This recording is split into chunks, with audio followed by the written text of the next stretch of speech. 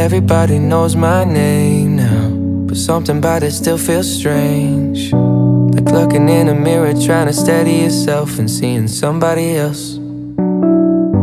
And everything is not the same now. It feels like